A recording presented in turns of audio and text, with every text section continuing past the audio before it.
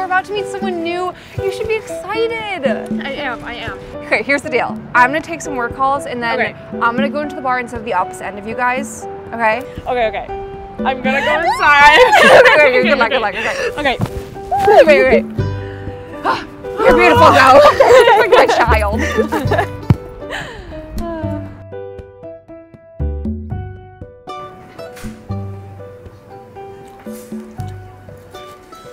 Hi. Maggie, oh my gosh, hey, wow. I have to say, you look so much better than your pictures. Um, thank you. it's it's great to meet you. I mean, I couldn't have been the only guy to have told you that, though. Can I um can I get an IPA? Yeah, sure. Um, let me grab you one at the bar. Great, Okay. thank you. Sweet. Hi, uh, can I get an IPA? Sure. Thanks. All right, here you go. Thank you. Of course, of course. Um, anyways, just so so tell me what you do. Um, what are you looking for? Tell me everything. I'm an artist. Okay, I. I work in arts administration. Um, Yeah. I used to teach. Now I'm working on the Upper East Side. Awesome, awesome. And I'm dating again, looking for a relationship. That's great. Uh, me too. I'm fully ready to settle down. And you're a banker, right? What kind Mhm. of banking do you do? Right. So I'm a private auditor for banks. So right now I work at Credit Suisse. And you uh, work and live in Midtown, right? Uh, well, actually, no. I right now I live with my dad in Long Island. Um, he's not doing too well right now, so I'm just staying with him for the time Oh. being. I'm so sorry to hear that. So you're an, you're an artist. Mm-hmm. What kind of art do you like to make? Um, I'm a painter. That's amazing. I love paintings. Uh, do you like to go to museums? Totally. I um I really enjoy looking at representational paintings. You know. I actually got to study abroad in Italy. Um, And I saw so many beautiful frescoes in person. That must have been amazing. Yeah. Um, I never really got to study abroad or anything like that, but my family is from um, the Middle East and Europe, so I, I got to travel a lot when I was younger. oh, I wish I got to travel when I was young. My parents are both like New Yorkers. So am I talking to a real local New Yorker right now? wow. I bet you're a liberal too. You're an artist, you grew up in Brooklyn, you probably voted for Hillary, I'm a Democrat. Yeah. so we're opposites, but um, hey, that could be hot. I'm sorry. Did you vote for Trump? is there a problem if I did? I mean, yes. Okay, we, we don't have to talk about politics. I feel like we were hitting it off so well. Donald Trump is a terrible human being. Um,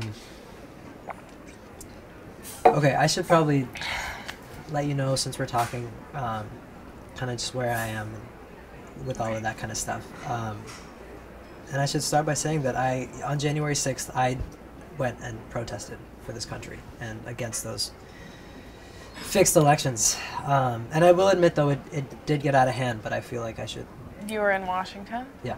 You were in Washington? What exactly were you doing there?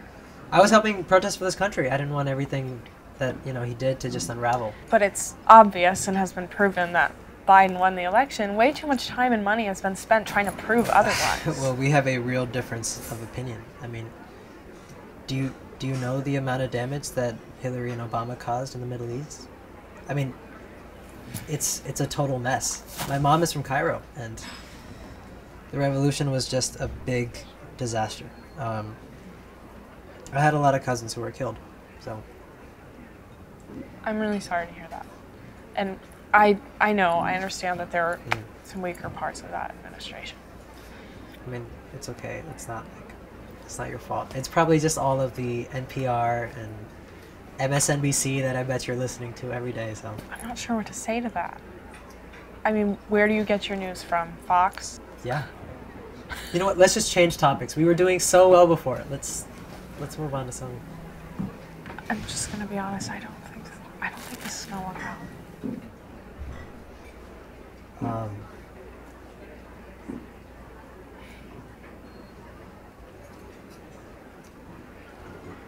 okay. Well. Um,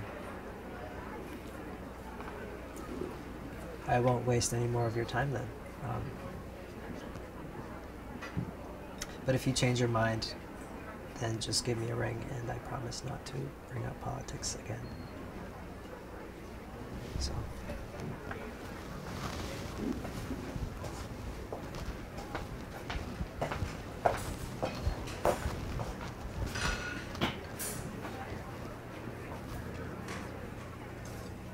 Maggie, are you okay? I'm assuming there won't be a second date. Um, no. Add him to the one date wonder list. But he was more kind than you might think. Why does the bartender look familiar? Where do I know him from? He is pretty good looking. Oh my god. Maggie. Maggie, Maggie. He was the nude model in Pete's class at Pratt's. Oh! Do you oh remember? yes, yes, yes. His name was like Naaman.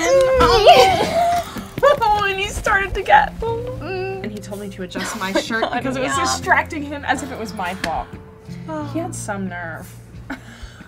You two look familiar.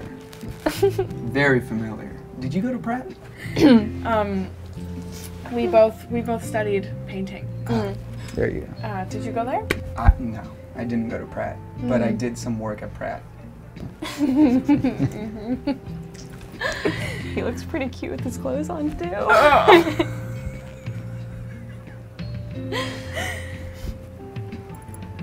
Stay here tonight. Okay. Whatever you want. It is your night.